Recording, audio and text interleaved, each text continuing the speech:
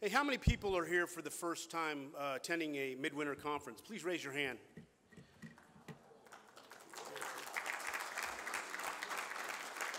It's always good to see new faces and stuff. I'd like to take this opportunity to welcome you here.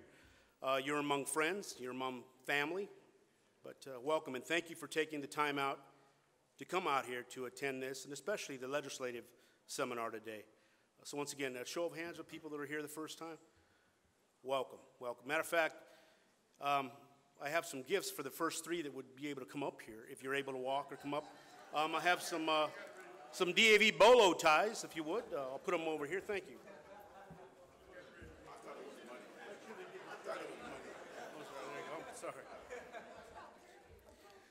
Those are available at the DAV store online at uh, dav.org. Well, good afternoon.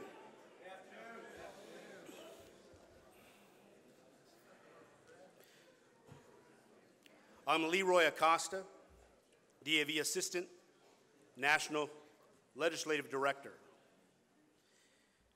At the 2015 National Convention in Denver, Colorado, DAV members adopted resolutions to confront numerous issues related to our mission of empowering veterans to lead high quality lives with respect and dignity. These resolutions are published in DAV's 2016 National Legislative Program, available at dav.org. Our 2016 National Legislative Program is ambitious, it's reasonable, meaningful, and the product of careful, thoughtful deliberation. Our legislative agenda recommends responsible solutions to the real problems facing wounded, facing ill and injured veterans and their survivors. Like many of you, I'm a past state commander, I'm a past department commander, um, and I share your passion for the principle that this nation's first duty to veterans is the rehabilitation and the welfare of its wartime disabled. I'll discuss the topics that are listed here today, and when I conclude, you have the knowledge to make meaningful recommendations to the policymakers and to persuade others to take action to support DAV's mission. Seated here today, you're surrounded by some of the greatest, strongest grassroots advocates in the business. Everyone here, and those who may be watching online, are on the forefront of our activity. Our strength is reinforced by the power of the constant, diligent efforts of our network of state level departments and local chapters.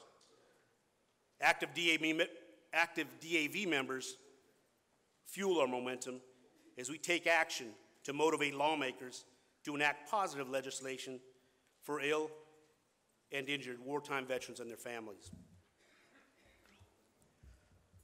Our grassroots activism can leverage technology to multiply our efforts online with the DAV Commanders Action Network. That's why I remind you and make sure that you encourage others to take part in the DAV Commanders Action Network, DAV CAN. Simply visit DAV.org, scroll over the words Help DAV, and click on the word Advocate. You'll find it. DAV CAN provides real-time information concerning issues pertinent to ill and injured veterans and their families. DAV CAN will alert you by an email when your action is needed on key issues. DAV CAN allows you to share your thoughts directly to your congressional representatives and lawmakers.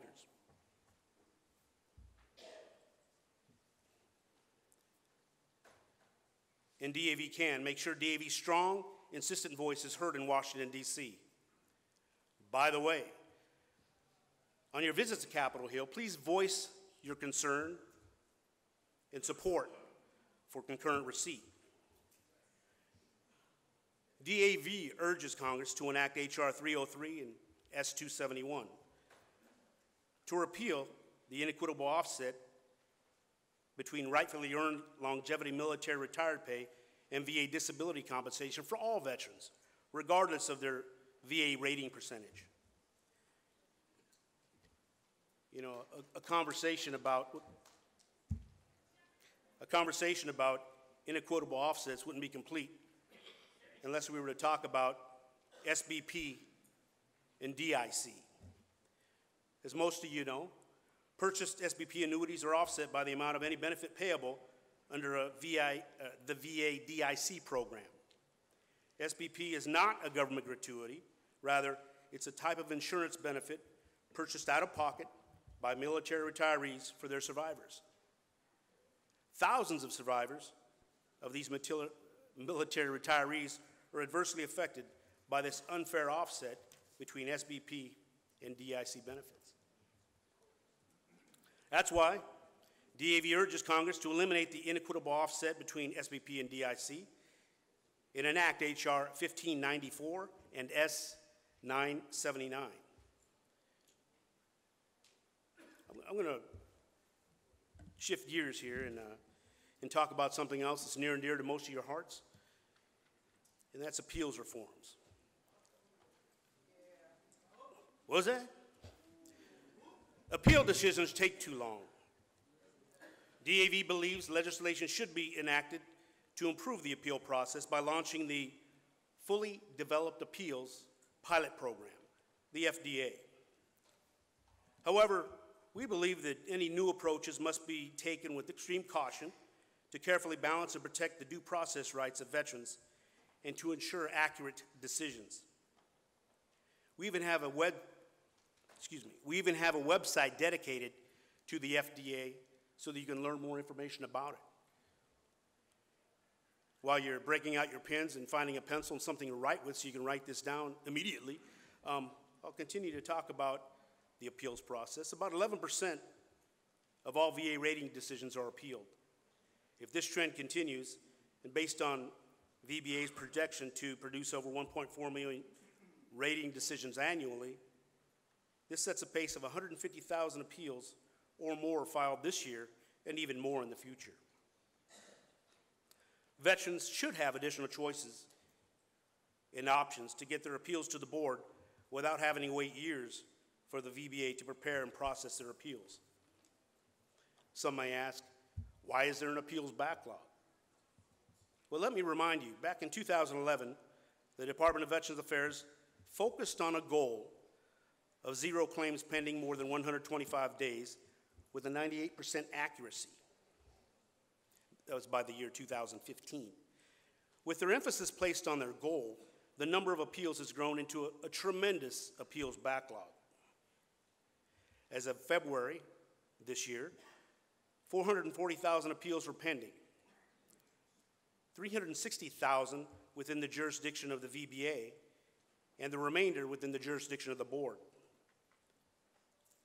If you don't know already, the average time to process an appeal from the time a veteran files a notice of disagreement to the time a decision is rendered is from two to five years.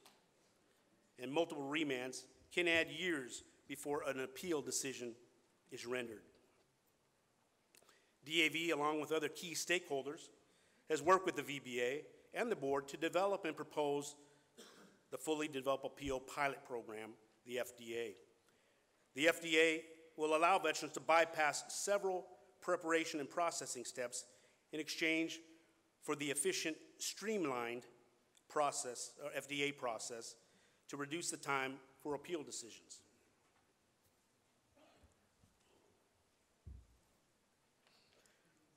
Congress should pass legislation to authorize the FDA pilot program and bills that embody much of our proposals and support the FDA are listed here. I need to advise you that February 9, 2016, H.R. 677, the American Heroes COLA Act, was passed in the House. You need to also note that H.R. 677 also contains language that would, that would round down the cost of living adjustments for VA beneficiaries over a nine year period. We oppose this because it would decrease benefits for ill and injured veterans and their dependents. DAV continues to work with the House and Senate VA committees to support our recommendations. Just as we do with all legislation that would support and benefit our membership. You note here, H.R. 313 was signed by the President in November of 2015. This benefit would benefit federal employees who were VA, uh, excuse me, federal employees who were veterans. It would benefit them. Lastly, I'm going to finish by saying thank you for your efforts. And I invite you to take advantage of technology and to optimize social media's ability to expand and multiply our advocacy efforts. It's important that we enhance DAV's engagement in our veteran communities. Why is that? Well, benefits for ill and injured veterans and their families have been scrutinized, dissected, and attacked for years. We need lawmakers to act in our best interests to maintain and enhance the benefits earned through honorable military service. Campaigns to do away with veterans benefits, they can gain momentum.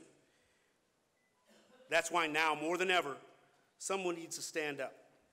That someone is a DAV. Together, our laser focused activity helps DAV work to fulfill our promises to the men and women who serve.